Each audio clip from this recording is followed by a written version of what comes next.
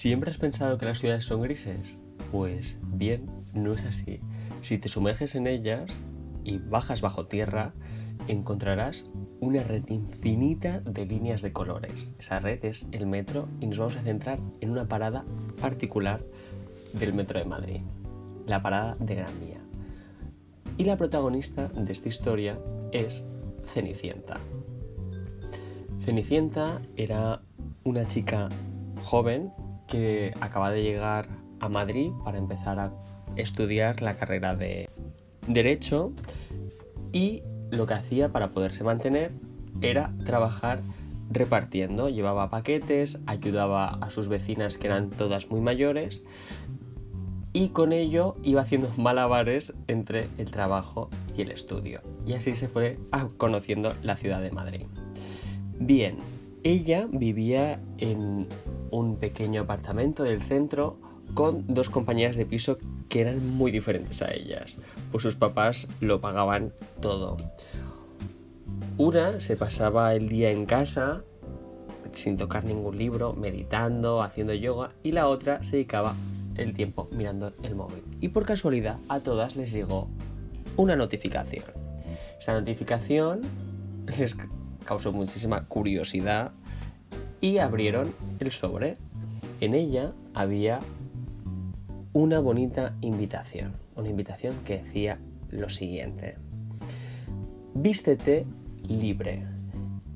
Esta tarde noche a las 8 en la terraza de el Círculo de Bellas Artes. Las tres accedieron y es que ese mensaje venía dado nada más y nada menos de Carmen. ¿Y quién es Carmen?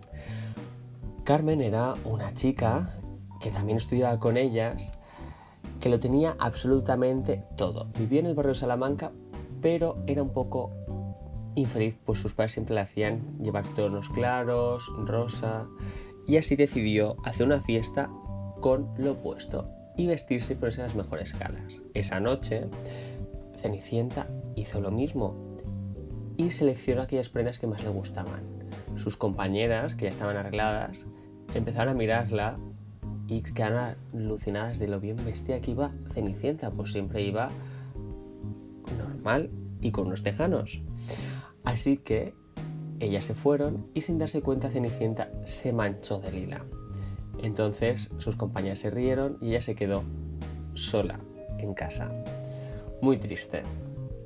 Poquito haciendo pucheros.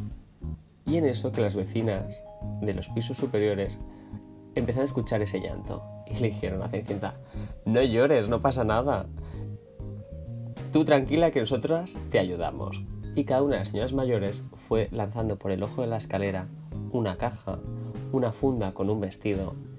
Y es que esas señoras habían vivido la época dorada de la costura y la modistería en Madrid. La última le dijo, pero niña, no vas a ir con tu bici. Te voy a dejar el bono de metro para que vayas cómoda y tranquila. Pero recuerda que a las 12 el metro cierra. Y por último abrió lo que más le fascinó. Fue la caja y habían unas sandalias preciosas con el tacón de aguja y de cristal. Así que se plantó en la fiesta y allí estaba toda la universidad, cada uno vestido como más le gustaba y como quería. Había chicos con falda, chicas que iban siempre anchas, que se pusieron ropa muy estrecha y entre ellas al final llegó Cenicienta. Todo el mundo se apartó para mirar lo guapa que iba con un vestido de Valenciaga de los años 60. Todo el mundo se preguntó que quién era aquella chica. Así que Cenicienta se sentía un poco rara y decidió mirar por el balcón de la terraza y observar el edificio Metrópolis, al fondo el cartel de Suez. Y en esto, que Carmen, quien había organizado la fiesta, se acercó a ella porque la notó muy segura y le gustó muchísimo cómo se había presentado. Se pusieron a charlar, se presentaron y dijo, no, yo, bueno, yo vengo de un pueblecito, ah, no, yo vivo en el barrio de Salamanca.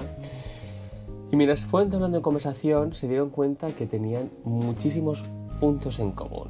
Y el principal era que no estaban a gusto en su casa y que querían buscar un piso para compartir con alguien diferente.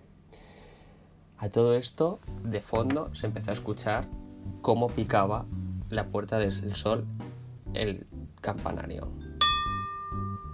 En eso recordó que tenía que irse corriendo, pues el metro cerraba a las 12. Así que bajó, empezó a correr y cuando llegó al metro de Gran Vía, bajando las escaleras, hizo un traspiés y un zapato se quedó en un escalón. A esto que Carmen salió disparada, pero cuando llegó lo único que encontró fue el zapato. Lo cogió y se lo llevó.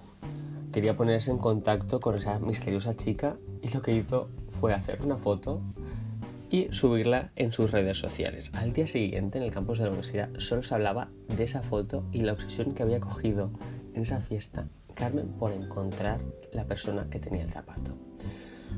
Y puso ¿dónde estás? y un hashtag con un emoji de un corazón roto. Todo el mundo quería ser amigo de Carmen para ir a sus fiestas y entonces todas las personas que fueron a la fiesta se fueron presentando, pero el zapato no correspondía a ninguno de ellos. Por ser muy grande, por tener el pie ancho, por tener el pie muy estrecho. Y decidió ir a visitar las únicas tres que nos habían presentado.